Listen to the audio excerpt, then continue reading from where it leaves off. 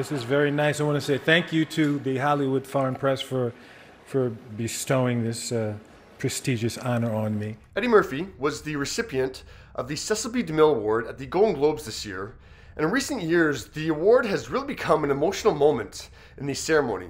For too long, women have not been heard or believed if they dared to speak their truth to the power of those men. But their time is up. In the midst of the Me Too movement in 2018, Oprah Winfrey brought the Male House down.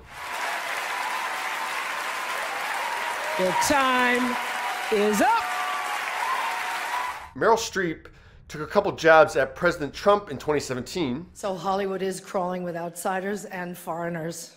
And if we kick them all out, you'll have nothing to watch but football and mixed martial arts, which are not the arts. And in 2020, Tom Hanks was in tears acknowledging his wife, Rita Wilson, and his kids. A man is blessed with a family sitting down front like that. A wife who is fantastic in every way, who has taught me what love is. Five kids who are braver and stronger and wiser than their old man is. Uh, I can't tell you how much your love means to me. So Eddie used his time to relay some advice to the up and comers in Hollywood. I want to let you know that there is a, a definitive blueprint that you can follow to achieve success, prosperity, longevity, and peace of mind. Get your Kleenex ready. Pay your taxes.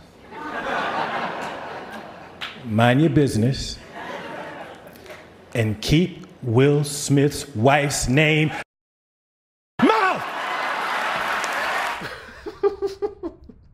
if you need a reminder, keep my wife's name out your mouth. I'm going to, okay?